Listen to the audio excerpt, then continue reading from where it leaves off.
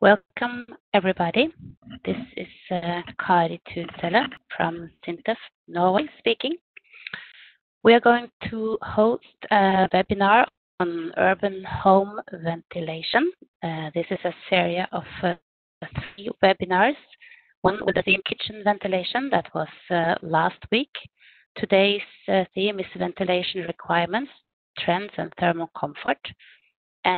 Next week, we will follow up with a new webinar on moisture control.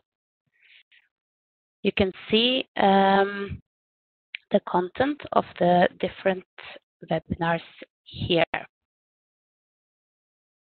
This is also available on the program on our website, where you are connected to these webinars. Today's um, theme is ventilation requirements, trends, and thermal comfort.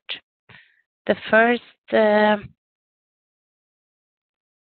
speaker today will be me, and the topic is ventilation and indoor air quality in Nordic countries, status, trends, and opportunities. This by Ole Petter Haugen from Selvaag Bolig, also from Norway, with a developer's perspective on urban home ventilation issues. And then at the end, Laurent Georges from NTNU in Norway, and SEB Temperature Zoning, fresh bedrooms, and a warm living room. Then we will continue with a Q&A poll. That's a couple of minutes that you will answer some short questions, and then we will continue with the workshop discussions.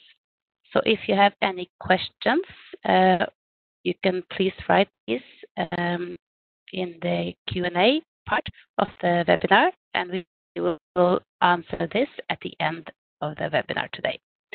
We will close at 16.30. Today's speakers are um, Laurent Georges, NTNU, Ole Petter Selvaag Bolig, and then me, Kari Thunshelle. We also have Peter Schild as the moderator for all the questions and the Q&A poll.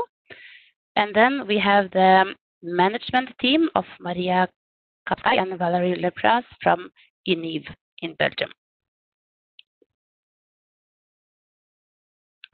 If you have any problems with the sound, uh, make sure that the audio connection is on by clicking complete on the upper part of your screen, and then audio connection. If you still can't hear, then please run a speaker audio test to make sure the correct output is selected. I repeat, uh, for the questions, please use the Q&A box on your right-hand side. Please do not use the chat. We are then not able to um, follow all the questions. The webinars presentations will be recorded, and they will also be published at our uh, AIVC um, website within a couple of weeks, along with the presentation slides. Uh, There will be, as I said, a Q&A poll uh, before the questions, but when you uh, leave the webinar, we also would like you to use a couple of minutes of your time for a post-event survey.